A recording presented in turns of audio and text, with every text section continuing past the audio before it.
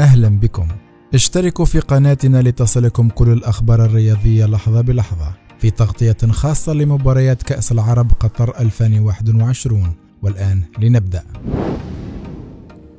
يصطدم منتخب المغرب متصدر المجموعة الثالثة بنظيره الجزائري وصيف المجموعة الرابعة في قمة ربع نهائي بطولة كأس العرب 2021 وذلك إن شاء الله يوم السبت الموافق للحادي عشر من ديسمبر 2021 وذلك على استاد الثمامة بمدينة الدوحة. وقد تصدر المنتخب المغربي مجموعة الثالثة بالعلامة الكاملة برصيد تسع نقاط بعد فوزه على فلسطين والأردن والسعودية.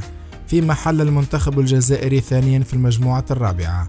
بعد فوزه على السودان ولبنان وتعادله مع منتخب مصر. وحسمت قاعدة اللعب النظيف صدارة المجموعة لصالح منتخب مصر بعدما حصل منتخب الجزائر في مشواره بكأس العرب على بطاقتين صفروين أكثر من منتخب الفراعنة بجانب بطاقة حمراء. وستنطلق صافرة بداية لقاء المغرب ضد الجزائر إن شاء الله في تمام الساعة السابعة مساء بتوقيت جرينتش الثامنة مساء بتوقيت تونس والمغرب والجزائر. التاسعة مساء بتوقيت مصر العاشرة ليلا بتوقيت السعودية الحادي عشر ليلا بتوقيت الإمارات. وستبث منافسات كأس العرب عبر قناتي بين سبورتس واحد واثنان بدون تشفير وكذلك عبر قنوات الكأس القطرية المفتوحة. حظا موفقا للمنتخبين. لا تنسى الاشتراك وتفعيل جرس الإشعارات لتتوصل بجديدنا دائما.